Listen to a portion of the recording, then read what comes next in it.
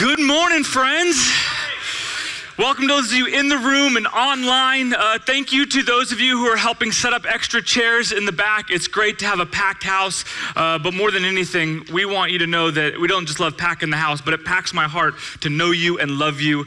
Uh, if we haven't met yet, my name is Kyle, and even if we haven't met, I love you. I love being your pastor, and we're all on a spiritual journey some way, somehow, and we'd love for you to enc- encounter the presence of God, His love, and His people, and just see what God does. He changed my life, and I know He can do the same for you as well. But this morning, let's get into it. Uh, this morning, um, let's talk about politics. Yeah, shall we? Shall we? Yeah. Uh, the reading the room right now is the most awesome. I've got people like, yeah, this is awesome. We never talk about it. I got people doing like a lot of like, what are you talking about, Willis? And I've got some people who are like, oh my gosh, I feel nervous in like parts of my body I didn't know I had before, but they're cleansing up like this. And other people are like, is this a joke? No, it's not a joke. But what I think is so interesting is the range of responses that we have to the idea of politics. The emotional responses we have when we walk by, we see someone's flag and what that means. You know, it's interesting. Um, about five years ago, uh, when I was a college pastor, uh, I was seeing this division happening, and I said, Man, this is the most divided I have ever seen us. And then two years later, there was a pandemic, and I was like, I didn't see this coming. But it's interesting as I was having that conversation with a student who's a history major, said, Yeah, yeah, we're incredibly divided, but do you think we're more divided now than we were in the 60s in the midst of a war and protests. If you go back even before that, remember there was this thing called the Civil War? We were pretty divided. And it's interesting thinking about that because as I go back, we're going to look at a passage today in which we see the same thing of division. And it's interesting because what it reveals to me to us is that the same problems folks had then are the same folks we had now. Um, and while I want to blame social media, I want to blame uh, uh, the proliferation of, of farther extreme ideologies. I really want to blame politicians because dang, that feels good, doesn't it? But what I realized this morning is it's not a new thing, it's not a social media thing. What it is, it's a human thing. And I realize there's something below the surface that throughout human history we've wrestled with, and that is tribalism. It's trying to figure out are you on my team or the other team? Right? Because this is how we stayed safe. When you went into battle, you want to know, are you with me or are you with them, right? You, you, you go in and you're out doing your hunter gathering thing and you see someone you don't know, like, ooh, are you safe? Or are we going to fight for the same bit of hunting and are we willing to fight each other to get it? Because it's all about my survival. If you get it, are you going to share? If I get it, do I got to share? And so this whole thing of tribalism creates this isolation and identity. And when I realize it goes back this far, the good news is that the Bible has answers for us to questions we haven't even learned to ask yet.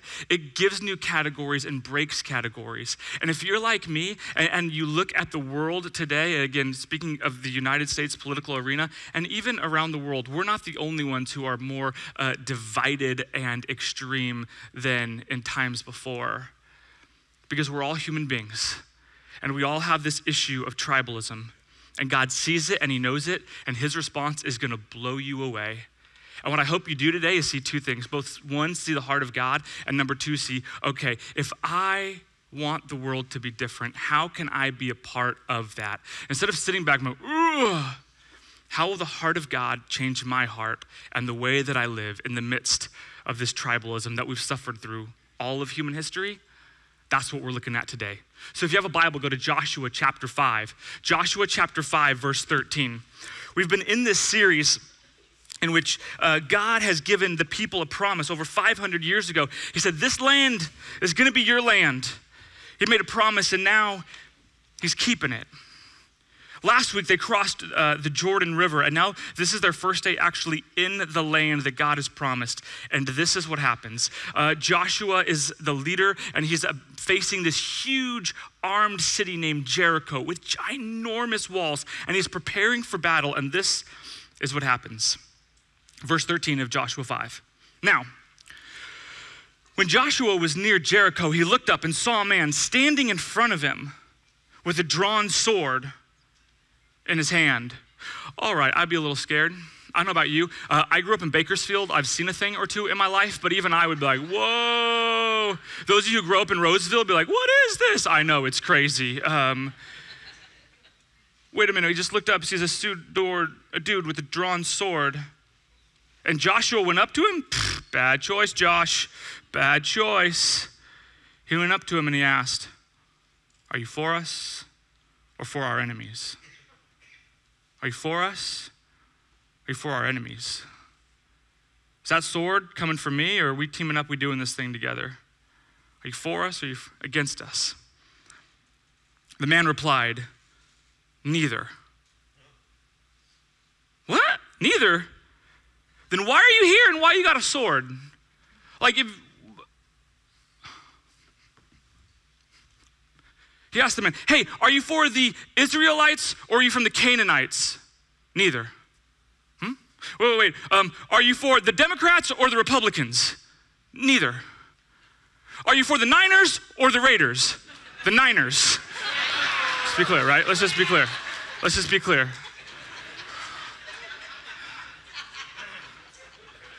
Neither, then what are you doing here? Who are you? Why are you here? And why do you have a sword? But the man responded, Neither. I am the commander of the army of the Lord and I have come now. Joshua fell down in reverence and asked, What message does the Lord have for his servant? The commander of the Lord's army replied, Take off your sandals, for this place where you are standing is holy ground. And Joshua did so we don't know for sure, but um, I'm going to teach you a big, big theological word that uh, there's this word called a theophany. A theophany um, is this, uh, the word theo is God. Um, Fanny just means butt or appearance. That's not true. It doesn't mean butt, but um, uh, come on, guys. That joke used to kill in junior high group. Okay. Theophany, an appearance of God, it's, it's when, it's when uh, uh, some Bible scholars look at it, it seems as though God himself or Jesus himself has showed up in these Old Testament passages, and the writers didn't have the language to understand exactly who he is. They knew he was someone special, so they referred to him as the commander of the Lord's army. The reason we think it might be God himself and not just a regular old angel, not that I've had regular old angel experiences. I've had none, but I would probably fall to my face and be scared as well. Um, but he takes off his shoes as a sign of reverence. And in this encounter with God, what he does is he realizes the overwhelming holiness of God and is, deserves to be worshiped. But in the same thing, he also figures out that God is not for one or for the other. It's got to change him. Now, for some of us, whoa, whoa, whoa, Kyle, I don't really understand it. Like, some of you are here, like, whoa, wait, don't wait. Isn't this what's about to happen? Hasn't God said, I've chosen the Israelites and they're going to kill the Canaanites? Hasn't He picked sides? Isn't this whole thing about uh, God picking one nation over another and that one chosen nation is going to destroy the other? Isn't that the whole story? And I think if you just look at it superficially and don't look at the details of it, you might think that. And if that's what you believe, you wouldn't be the only one. But if you look at what happens, you see what's really going on. You see, the land of Canaanite worships other gods. And one of the gods they worship is a god of fertility. And one of the ways that they would show their act of trust in the god of fertility, I'm not making this up, is they would literally sacrifice their firstborn child. As if to say, I give this to you because I know you will give me more. And when the God of the universe sees that type of evil, he does not step back and say, You do you, boo.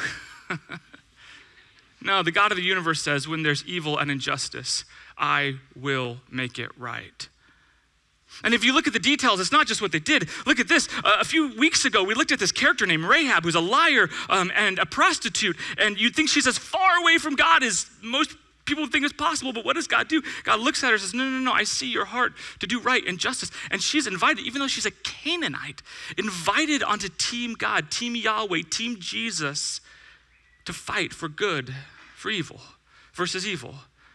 And we'll see next week Israelites who do evil those Israelites are punished. What we realize is that God is not on the side of one tribe or the other. He is on the side of all folks and invite folks to live in a righteous way of living that is a blessing to those around them, particularly this it's creating a nation that cares for the most vulnerable. Whereas the Canaanites took advantage of the most vulnerable, newborn children, here, God says, no, no, no, we're going to do this a whole nother way. Are you for us against us? No. I'm for all folks.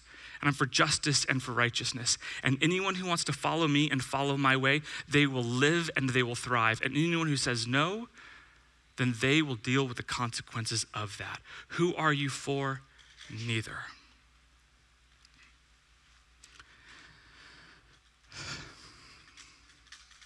You know, it's interesting. Um, if you're new to our church, we're so glad you're here. You're gonna get a behind the scenes little family meeting. If you've been around our church, hopefully what I'm about to say doesn't surprise you, but let's just clarify some things.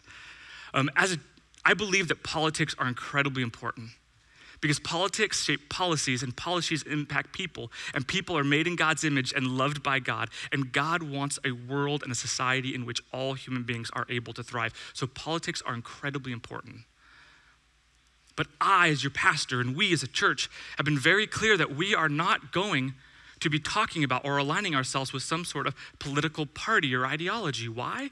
First and foremost, we want to be incredibly clear that our number one and ultimate allegiance is always to Jesus. And any allegiance that challenges us for our affections, for our attention, for our investment, or for our identity, we think is a threat to that. And that's the world we live in today, in which our politics become our identity. So, number one is about our allegiance to Jesus. But number two, let me be clear. We want to be a church where Democrats and Republicans worship together because we believe all y'all need Jesus. If you don't believe that y'all party needs Jesus, look at whoever's running for president of your party right now. Okay, that's as political as I'm going to get. I promise. I'm sorry not sorry. Let's just do this thing. We want all folks. I love uh, when people walk in, they're so confused because they see the, the, the bumper sticker of the other person there, and then they see the bumper sticker. They're like, what kind of church is this? I'm like, well, that's not our primary allegiance. What we hope is our primary allegiance is always to Jesus, and all folks can find it. Well, Kyle, but but but but but but doesn't God, in ordering a more a just society that blesses, doesn't that matter? Yes, it does. But let me be clear. There are things in Scripture that are clear, but the politics of it get messy. Let me give you an example. One of the reasons we don't align ourselves is we believe it's crystal clear. I mean, the scripture's overwhelmingly clear that the heart of God is for the marginalized, uh, for the poor, the widow, the orphan, uh, the, the, the foreigner, those who have the least power in society. The power of God says, I'm going to go and I'm going to protect them and I'm going to create a place in which they can thrive. So, caring for the poor is non negotiable if you're um, a Jesus follower, Bible believing person. If that's, it's just not a debate. But here's what is a debate is the best way to care for the marginalized through the creation of government programs or the empowerment of the individual. That is a political thing, and we can debate about that. And I hope you do. And I hope what you do is come together with people who say, okay, we believe in Jesus, we believe that we need to care for the poor, but let's actually talk about the best way to do that.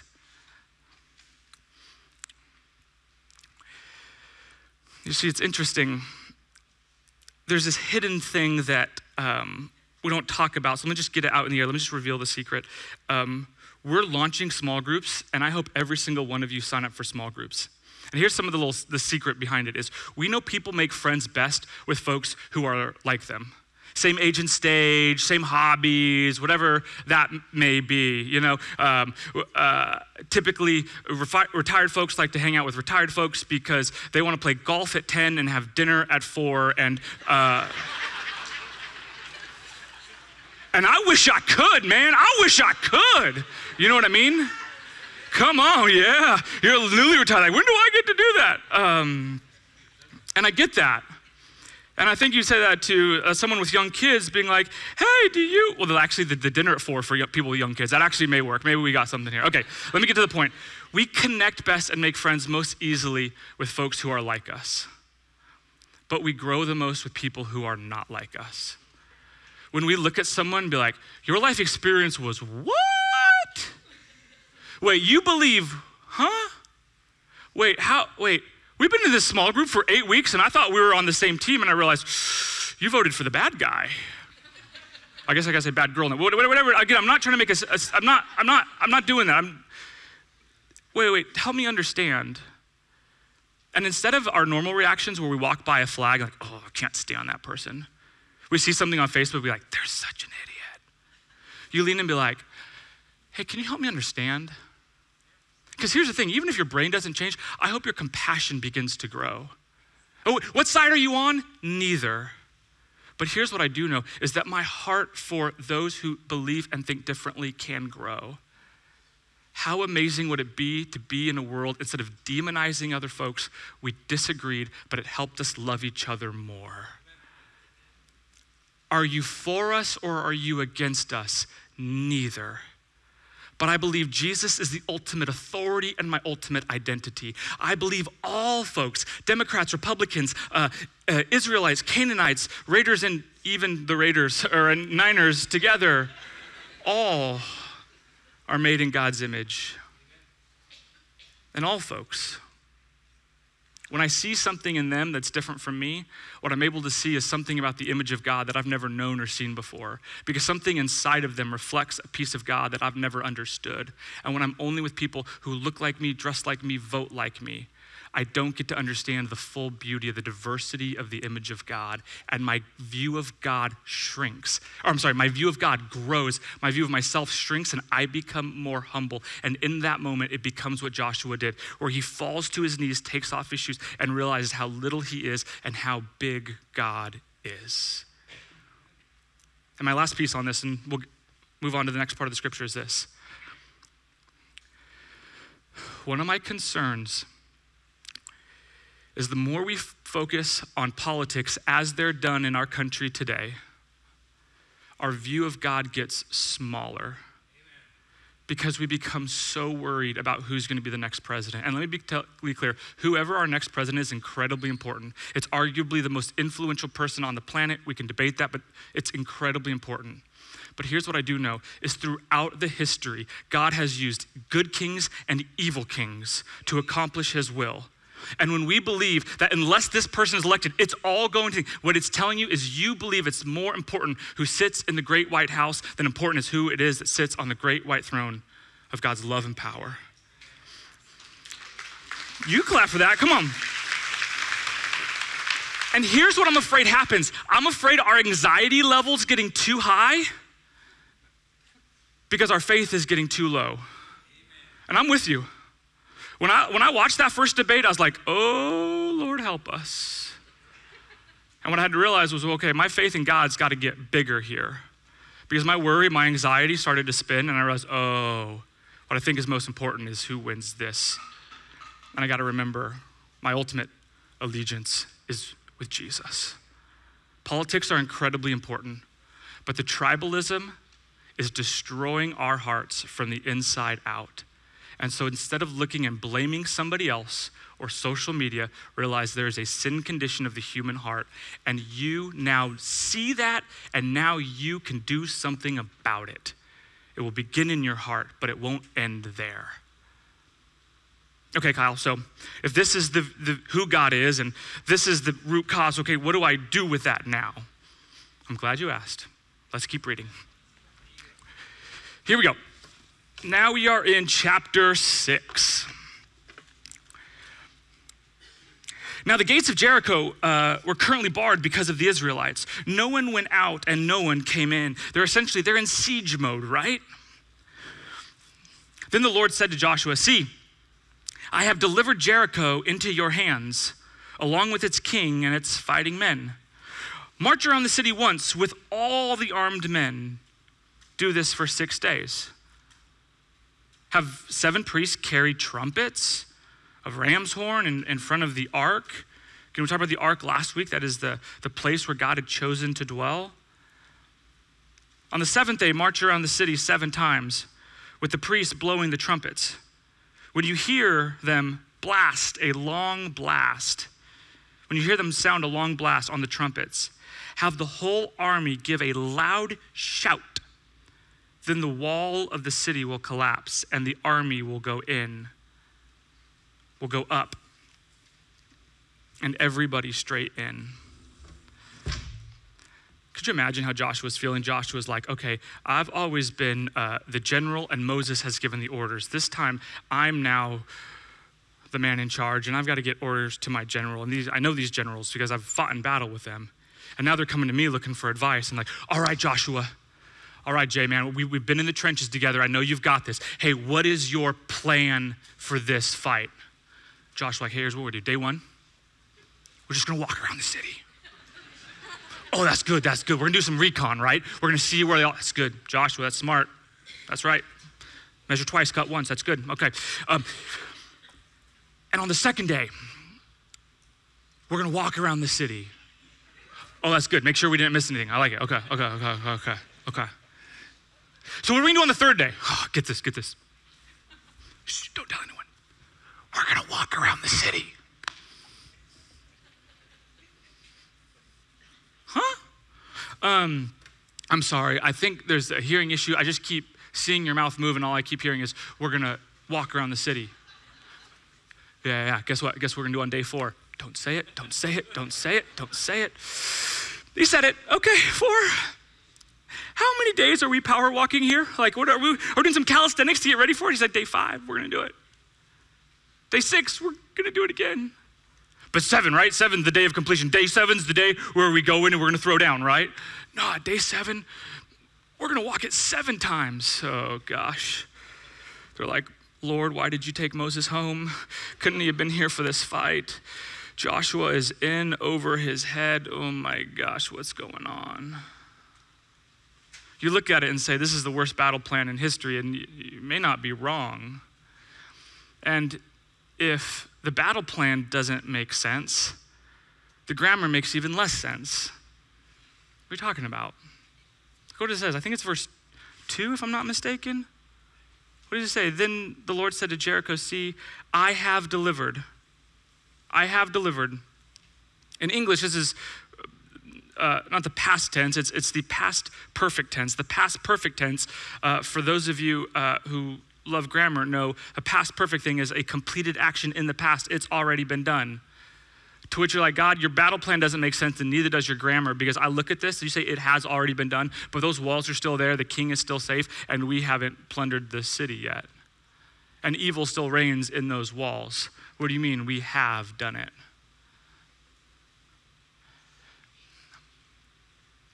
There's something challenging about the way God chooses to do this. And it will challenge you. And I just want to warn you the more accomplished, the more self reliant, and for lack of a better term, the more American you are in your ability to go and manifest destiny, this is going to rub you the wrong way. Like, what does this mean? What God is saying here is, I want you to fight a battle in a way that there's no way that you can get the credit, and only I can do it. And at the end, after you've walked around, and that seventh time, if you walk around, what I want you to do is before you win the war, I want you to worship and celebrate. You're like, no, no, no, no. Shouldn't I worship and celebrate after? Shouldn't after the walls have fallen down, like, woohoo, look at all this stuff we've done. Oh, this is awesome. That's when we sing and dance and, yay, praise Jesus, right? No, no, no. Before it happens, because here's what God is trying to do He's trying to shrink the amount of trust they have in themselves and grow the amount of trust that they have in God by doing it in a way that only they can do it. Why? Because if they're going to build a society that's different than every other society, every other society says, I get to rule because I'm the strongest, smartest, or God has chosen me, therefore I'm special. And God is saying, Nope, nope, nope. You get to rule not because you deserved it, because I let you. And it's not, you don't get to do it because you have power, therefore you get to exert your power over others. No, no, no, no. What you get to do is know that God did for you what you could never do, and it's God and only God who brought these walls down. You say, that's crazy, right? Yeah. But it's so crazy that it happens again. Just over a thousand years after this happened, about 1,200 years after this, Jesus would come, and what would he do? He would come and he would live the life you and I should have lived and died the death that you and I should have died as a punishment for our sin. And he died on the cross. And it was actually him giving his life on the cross, his death and then resurrection that defeated the power of sin and death and evil.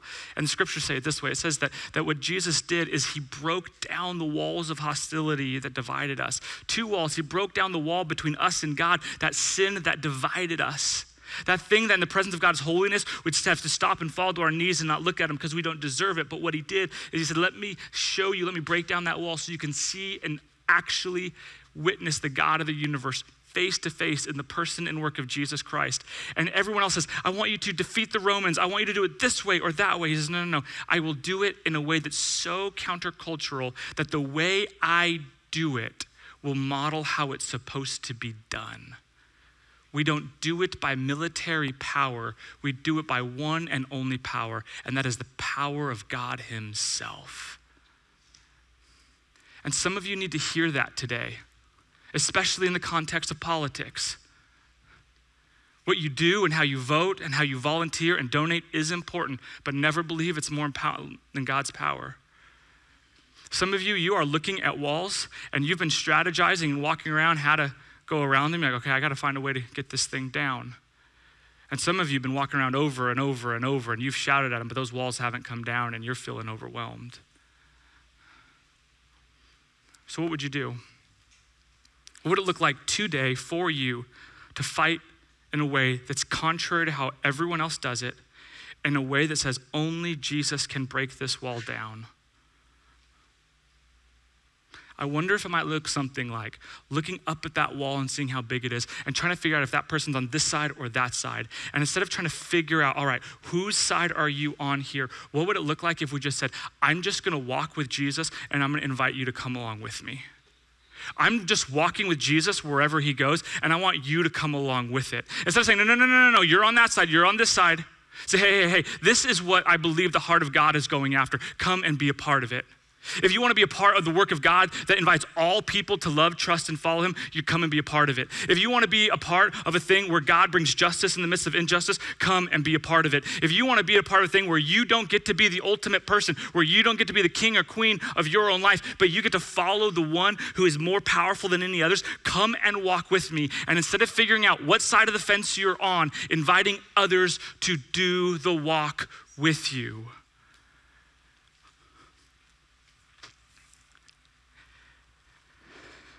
One of the reasons we did this Joshua series was um, a year and a half ago, I was on a run.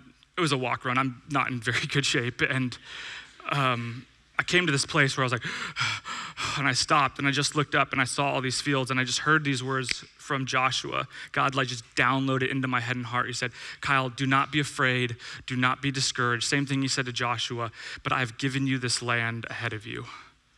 What are you talking about?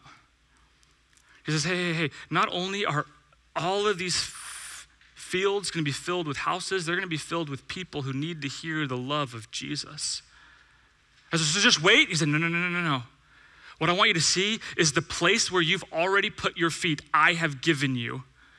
And your church needs to know the same thing that God said to Joshua in chapter one that Joshua, wherever your feet go, I will be with you and I will give that to you. We've got to be a people who realize that there is real life mission out there, and sitting back and just trying to figure out what side of the wall people are on is the exact opposite of what God wants to do.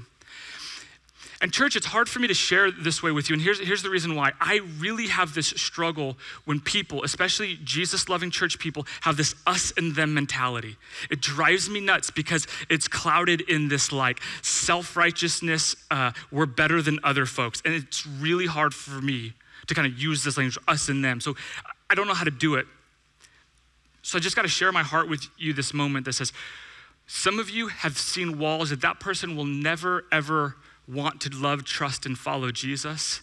And if you went back and saw the story a few weeks ago of Rahab, the person who we never thought would do it, and what they're waiting is for an invitation that says, Will you walk with me? Will you come to church with me? Do you want to be a part of my small group? Hey, how can I be praying for you in this? And instead of this thing where you've already decided, where you've already judged, where you've already dehumanized, for you to say, Would you be interested to walk this way with me? With God in His direction, in the way that He guides. Life Community Church, we are not just gonna sit back and be thrilled that we've got to put up more chairs on Sunday. We're going to be thrilled when we see that the people who leave these chairs actually go and live and embody the kingdom of God out there. You guys have been around here. You know we love serving, compassion, feeding folks. We love it. You know we love youth and kids ministry. And this year we're partnering with an organization called Youth for Christ. And what we're doing is we've actually hired a new associate youth director who will spend part of the time working here and part of the time working for them because some of his hours will be on the school campuses meeting kids where they're at instead of waiting for them to come to us, instead of living in this wall. Oh, there's this wall between God and school. No, no, no, no. We believe that everywhere we go, the presence of God goes with us. And He says, No, no, no. I want you to go there. And friends, I want you to have this vision that God is breaking down walls, not so that your team can win, but you can invite others to walk and follow Jesus together.